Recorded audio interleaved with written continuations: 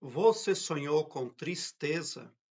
Aqui em cima no card deste vídeo eu tenho uma playlist Sonhos com Sentimentos e Emoções. Dê uma olhada, porque os vídeos vêm a somar na busca pelo aumento do seu saber.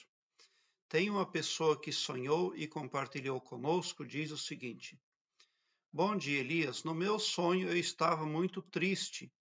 Era uma tristeza profunda e no mesmo instante eu via pessoas amigas se deitar em uma carroceria e se cobrindo para dormir. E eu pedia para não dormirem, mas todos se cobriam. Mas o que me preocupa é a tristeza que eu sentia. Agradeço por me ajudar nas respostas.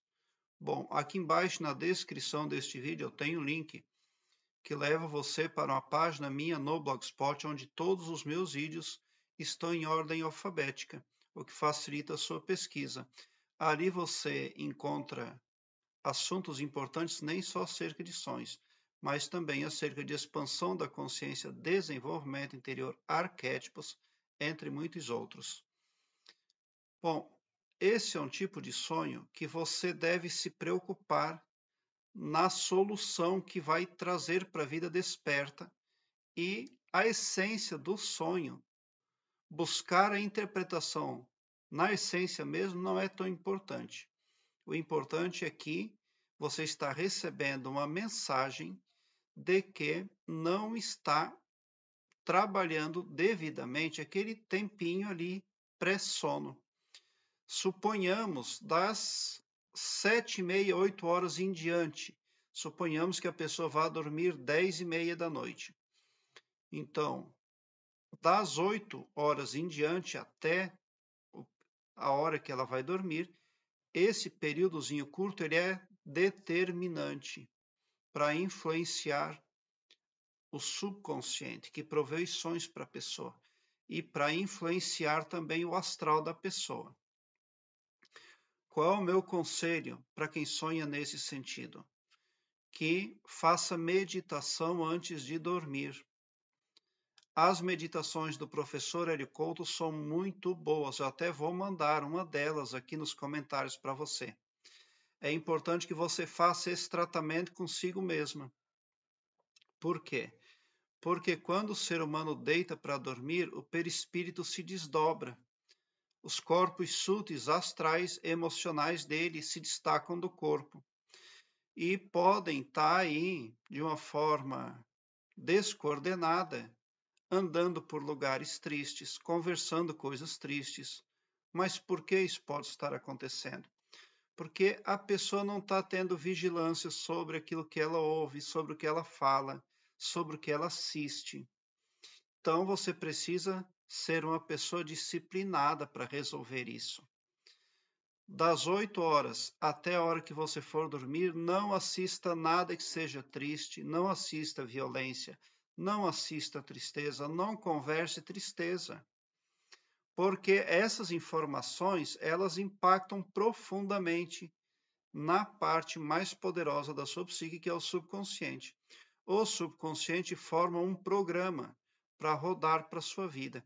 Ele vai atrair para sua vida os resultados segundo o prospecto, o projeto desse escopo que ele compõe dentro dele ali. Por isso, é imprescindível que você tenha controle sobre si mesma.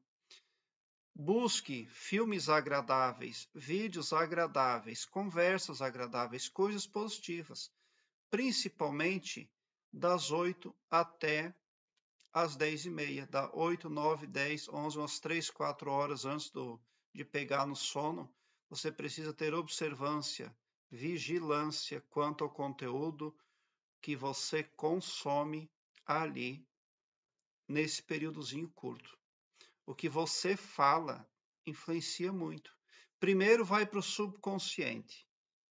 Depois, o subconsciente, com essas informações aí, vai tentar atrair isso aí para a sua vida. Então, você pode ter tristeza na sua vida, não porque a sua vida é triste, mas porque você conversa sobre tristeza, você vê tristeza no, na internet, você assiste filme triste, você ouve música triste, também não pode. Nenhuma música com fundo triste, com letras tristes, deve ser ouvida pelo ser humano, porque elas servem como gravação para o subconsciente. E o subconsciente vai trazer coisas tristes porque ouviu músicas tristes. Então é, é quanto a isso aí que você tem que prestar muita atenção.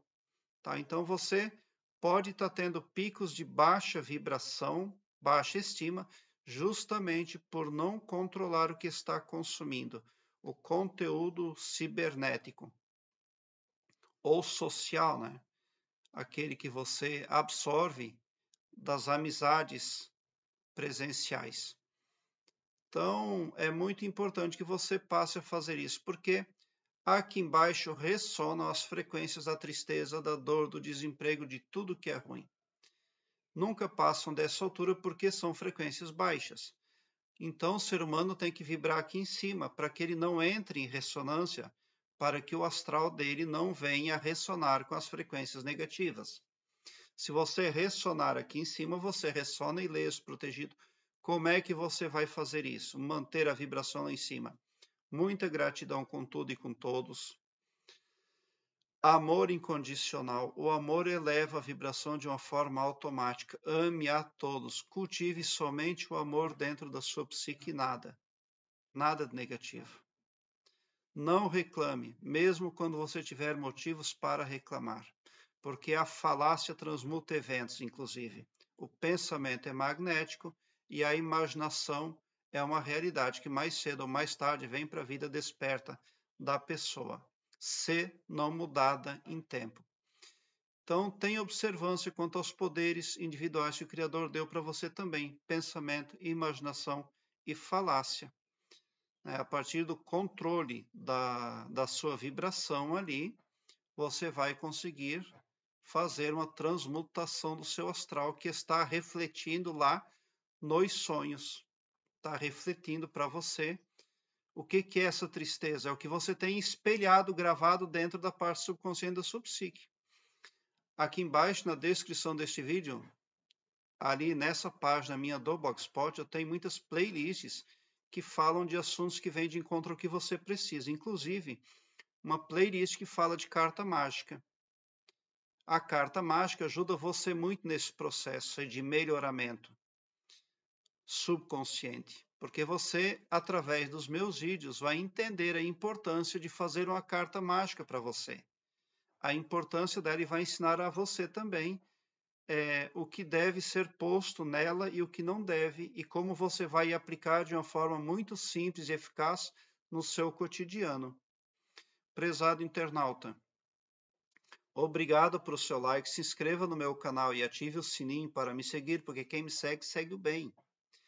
Eu quero também que você alargue um belo sorriso no seu rosto, porque quando você entra no meu canal, você entra para uma frequência do bem. E mesmo que eu não consiga responder ao seu comentário, ainda assim você está sendo impactado positivamente pelo escopo espiritual do meu trabalho aqui no YouTube, que prospecta o bem para todos indistintamente e não todo poderoso só para mim ou só para um ou só para um grupo de pessoas. Tão somente por esse poder de empatia você sai sim do meu canal poderoso para fazer frente às adversidades que estão aí pelo caminho, tentando impedir você de ser bem-sucedido aí, de ter sucesso aqui na terceira dimensão, aqui no planeta Terra. Muita gratidão mesmo por assistir aos meus vídeos.